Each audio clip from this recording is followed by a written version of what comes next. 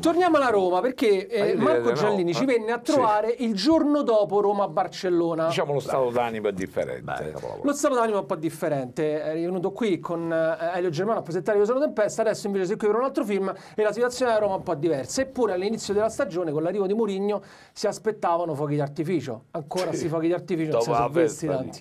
Non ti vorrei adesso provocare, eh, non ti vorrei provocare troppo, però no, no, no. del tuo essere romanista, il tuo, Ma le tue sensazioni. essere romanista, poi quando vai avanti col tempo, con gli anni, eccetera, ti rendi conto di tante. Ma sei una manica di stronzi. No, no, ma figurati, noi serviamo assist a porta vuota perché sappiamo poi la Ma di che reazione. squadra, scusa, eh, lo voglio sapere. Scaratti. Non te lo posso dire. È meglio, no perché t'ho visto. Allora, quando si parla di disgrazie, poi se ridete è tutta... Cioè... No, scherzo. A me non mi pare così disastrosa per stagione ti Roma. fai cioè. i cavoli tuoi. Allora, sta, sei buono, sta non rompere i si sta coglioni. solo scaldando. Mi sento di spezzare una lancia. Direttore, vice direttore, eh? Ieri è pareggiato con Villarreal, dai. E insomma, eh, il fatto che uno non mi aspetto più niente perché... Vabbè, poi te devo dire una cosa al di fuori perché stiamo in un, nel regno, diciamo, de- de- de- de- del calcio eh, romano e non, insomma, il Corriere dello Sport, e di conseguenza Bello come volevo vuole. dire una cosa da Juve di ieri, intorno, ci ma la dirò alla fine no, perché se può dire. Se può dire, se no devo litigare forte. No, no, allora, no, no, no, come da Roma, ne dirò tantissime. Vabbè, ma da Mourinho ti aspettavi qualcosa di più? cazzarola mi aspetto da Murigno se non c'hai, che ha detto lui? Non c'ho i giocatori. Non è vero, non è vero che non hai i calciatori. Però Murigno sta nel cuore, perché uno che litiga, butti i palloni, da uno a battere il fallo laterale dell'altra squadra, gli dà una, una vai tranquillo, vai, vai, gli regge la maglia per non farlo andare, vai, passa a giocare. Un, vero, un, non so, uno showman.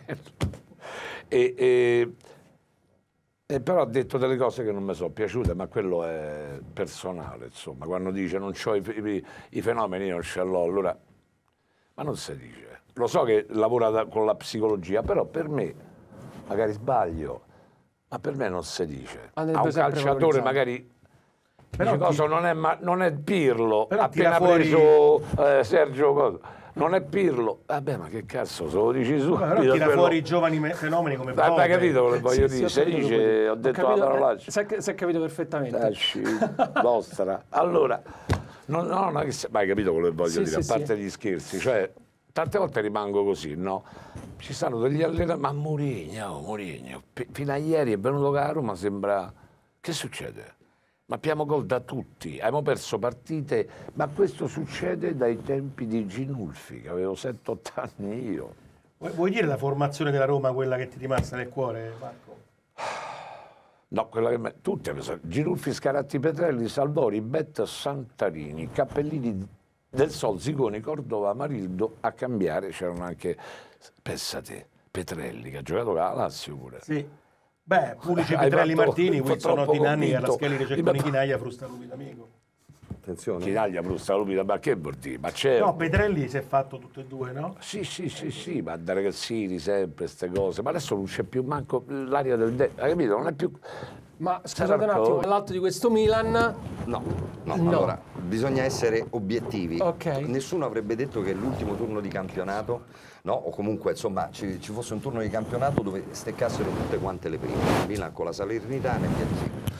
E, e- e quindi è secondo me veramente un campionato incerto che, sarà, che dipenderà molto da chi riuscirà ad avere continuità, grazie, da chi riuscirà ad avere continuità e quindi non si può parlare eh, prima di, Dio, di come un sei certo formato, tempo. come sei, come sei della e forma, e eh, c'ha- Ma anche anche- scaramanzia, Ma perché dai, eh, tro- solo Però scaramanzia. più, cioè, la Lasciati, ci si lasciati. aspetta pure noi sta Io cosa ancora spero che, te- che Sì, le cose così, di che, ti, che odi No. l'Inter, che vorresti vedere degli allenatori morti. no, neanche non è avuto vero, Ibrahimovic no, non è per quasi tutta la stagione, anche questo Dai, voglio dire. Ibrahimovic è finito, dai. Sì, eh, ecco, l'importante è che loro abbiano questa convinzione. Opinione. Eh, capisco che dia fastidio dal basso No, della cerco di stimolare così viene fuori un buon No, dibattito. per, no, per il semplice motivo che il Milan fin quando ragionerà in maniera umile e non da quello che il Milan è stato, cioè Basta. inventa le classifiche, forse riesce a arrivare a una... la punta basta. quello che è stato. Siete Milan, l'eterna promessa. gli- servirebbe forse. Vlaovic, che dici? Ma Vlaovic è ottimo per un quarto posto in campionato e per un ottavo di finale Champions, non di più. Che brutto Quindi diciamo che il calcio italiano, che è, ricordiamolo, il quarto calcio La europeo in questo momento, dopo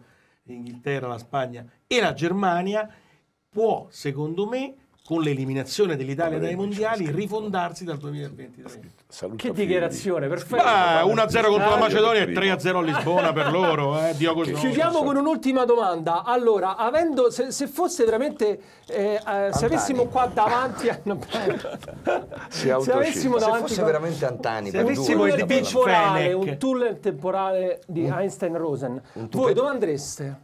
Dove vi piacerebbe andare?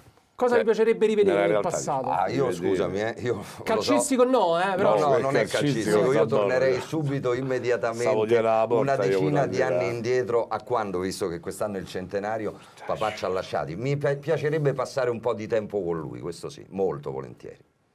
Giallini? Eh, Troppi, troppi tunnel ti servirebbero? eh, no, vabbè, pure io.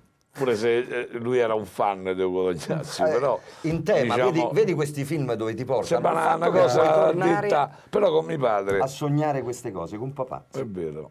No, a me invece mi frega niente. Io tornerei nel 71 a Woodstock, mi drogherei come una, un infame. Cazzo vuol dire, quello ce l'ho stato io. Tan, tan, tan, tan, tan, Beh, tan, direi che-. Iron Direi che Butterfly, è la chiusura- da vita. È la chiusura perfetta, quindi, Beh, in per tema, questa in, intervista. te- in tema crimine è, Esatto, è- ci sta, ci sta. ci sta. Allora, grazie mille di essere stati i nostri ospiti. Ricordiamo Bella, l'appuntamento quindi 10 marzo nelle sale italiane. C'era una volta il crimine. Con Andà- questi loschi figuri, oltre a Giampaolo Morelli, Carolina Crescentini, Edoardo Leo, Ilenia Pastorelli, Giulia Bevilacqua e tanti altri attori Lucio. Camerini, Rolando Ravello. E guai. Grazie mille e a presto. C'era una volta il crimine, ma c'è ancora oggi il cinema. Andate al cinema. Assolutamente. Un saluto alla prossima, grazie. Oh.